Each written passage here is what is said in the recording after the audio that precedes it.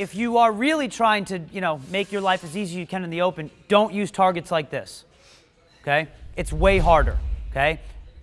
We don't have anything else because we're just meatheads here.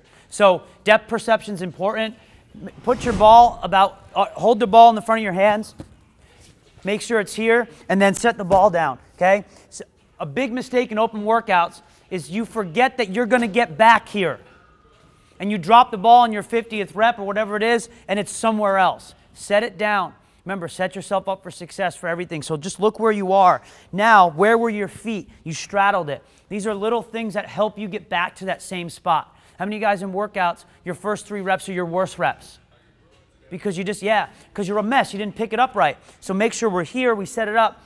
Things that we forget. How do we get down to this position? I don't need a beautiful med ball clean like your Eric O'Connor on the demo box to level one, right? Yeah.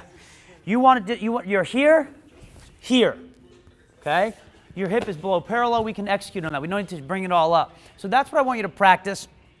Getting that ball up quick and just do three wall balls, drop it. Do like three sets of three, but making sure the reset is good. Unless you think you're going to go unbroken the entire time, this may not be as useful, but go ahead.